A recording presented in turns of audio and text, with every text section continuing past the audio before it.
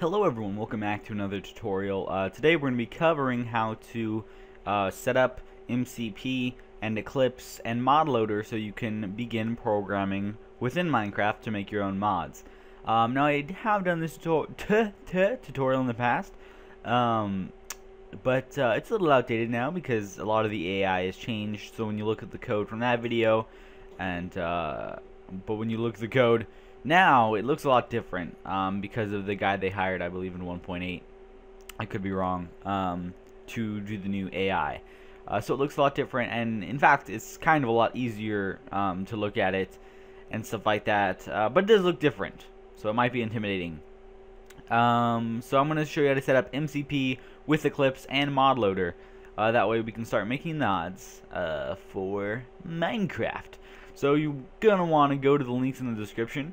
Uh, if you don't already have it, you want the Java JDK, which is different than your normal Java. Um, uh, it's free, of course. Um, obviously, you do need Java, which hopefully you do. If you are playing Minecraft, it requires it. Um, but here we go, Java JDKs. Just click this download button, and it'll take you to this page.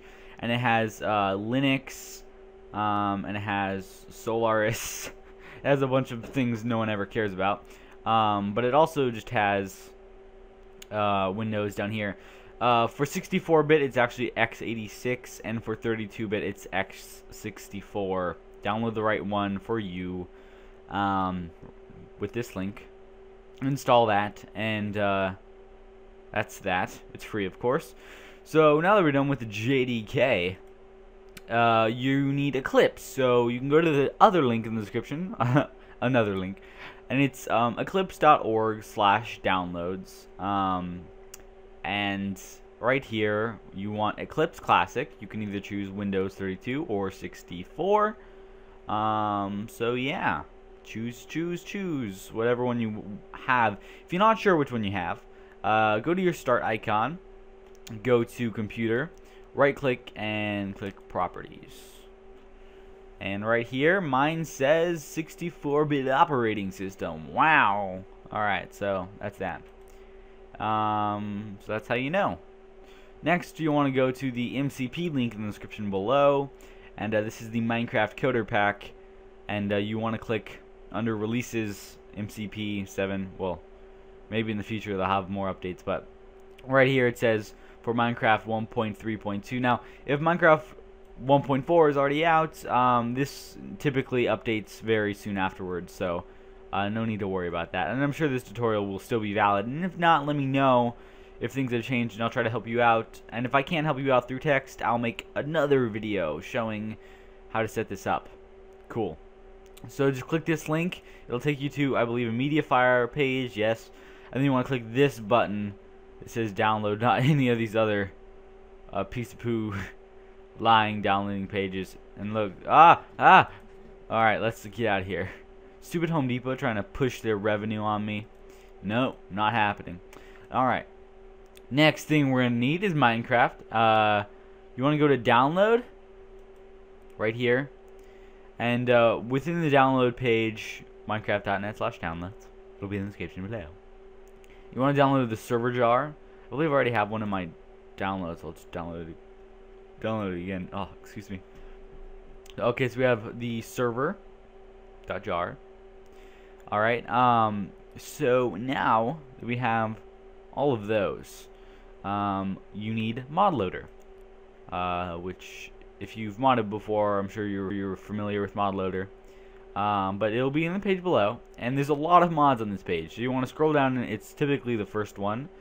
Uh, you can download via Adf.ly. Uh, it'll just give you ad, wait 5 seconds, then click skip. Or you can just download direct, which will just start downloading immediately and it won't take you anywhere. So that's nice.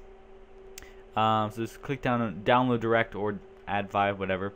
Um, I already have it, so I'm not going to download it. Look at all this promotion. This show's probably going to suck. Okay. Uh, so now that we have all of that, let's uh, kind of minimize this and put this on my desktop. Alright. Thumbs up for low grain desktop backgrounds. Low quality grainy. That's what I meant. Okay. So, here's our four files. I have put my MCP in a folder called MCP. These are just all the files that are in the zip that you download. I put all the files that you get when you download Eclipse in a file called Eclipse. And I have my model loader here, and I have the server here. Our next step is you want to run Minecraft, and uh, you're to want to force an update, uh, which means it's just to down, it's to re-download all of your files. Uh, it'll leave your saves alone. Um, but it's to get rid of any mods you have and stuff like that because it has to be a nice clean slate. Um, so if you go to options, force update, done, then log in, you're to be good to go. I already did that before the video started, so we're fine. Um, so let's go ahead and go to our start icon. And uh, if you're on Windows 7, you want to type in run. Oopsies. Yeah, run. Uh, click on the run icon and type in percent sign app data percent sign and click OK. Uh, if you're on uh, Windows XP, I believe it's just run in the start menu. Um, so now we're going to go to Minecraft, .minecraft. Um, all this poops is here, but all we want is the bin and resources folder. And we're going to copy these, highlight them both, Control C, copied. Uh, go into your MCP, go into the jars folder in the MCP, and paste those two files in there. And give it a sec. It's 50.1 megabytes of pure awesome. And uh, so it might take a minute. depending on how fast your computer is. Alright, almost done. Almost done. Alright, cool. Um, so now, on top of that, we want to take our server uh, that we downloaded from Minecraft.net and plop it in there. Alright. Uh, now, on top of everything, we want to go to our bin. We want to go to Minecraft, uh, the Minecraft.jar. Right click on it and open it with WinRAR Archiver. If you don't have this, uh, I'll put a link in the description below and you can download it. Very necessary for anything Minecraft. Very. Alright. So we are going to go ahead and open up Mod Loader with WinRAR Archiver. And take all of these files, I'm, sure if you're familiar with installing mods, and just drop them in to our folder. Cool. And you're going to want to delete this meta file, which I heard isn't completely necessary, but uh, it's a good idea to do anyways. So there you go. Now we have um, our MCP pretty much set up with only a few more steps to go. So let's go ahead and open up MCP again. And uh, we're going to run decompile the batch file right here. Uh, this .sh is for Mac users. Um, so this is obviously a Windows tutorial. So if you click decompile.bat, it might take a while. Uh, in fact, it is going to take a while. Uh, so I'm probably going to skip ahead. Um, it'll take a, just a few minutes, but um, I don't want to have you guys to sit and watch. So magic skip time. Alright, so we're back. Um, it's done decompiling now, as you can see here. Um, so it's going to just say press any key to continue, and we're going to do so.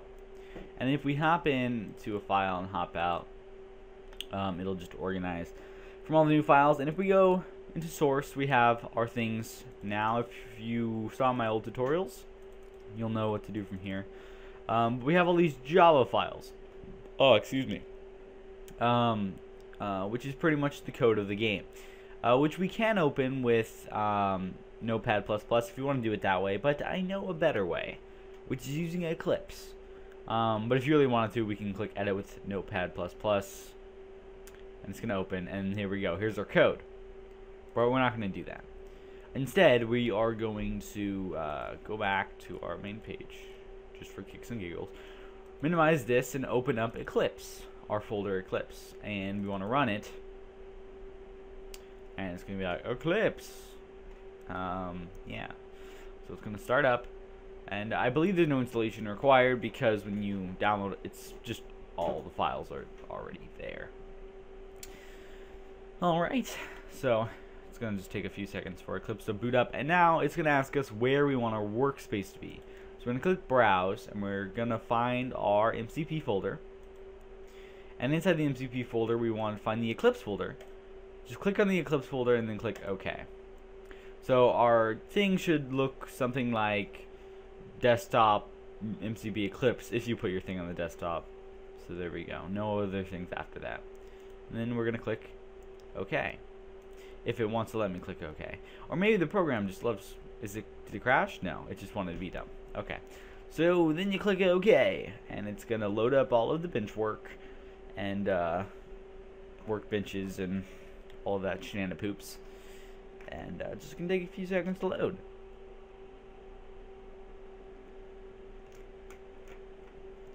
Alright, here we go. So now we have our um, thing open in Eclipse, which is what we're going to be doing our main programming in. Um, so now I'm just going to give you a tour of what it looks like. Now inside the silent, um, which is what we're going to be working on, if you want to make server mods, you can.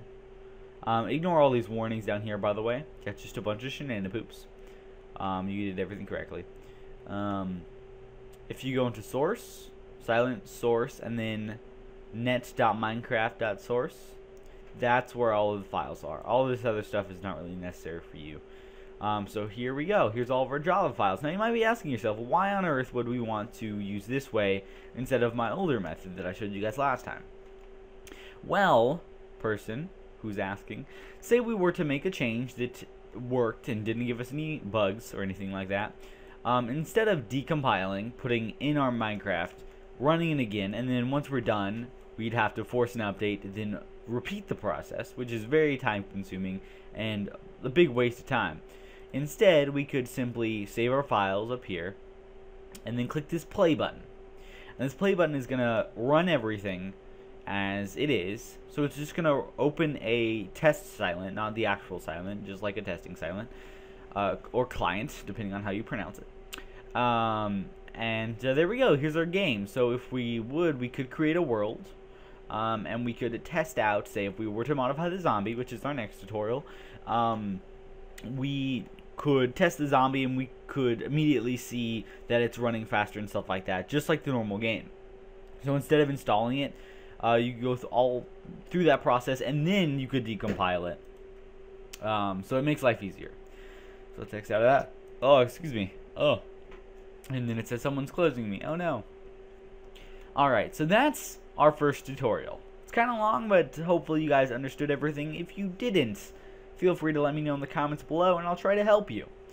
Um, but that's it for our, I guess it's like the second season of modding tutorials. I don't know. I did these a while back, uh, but it's kind of outdated now. So here you go.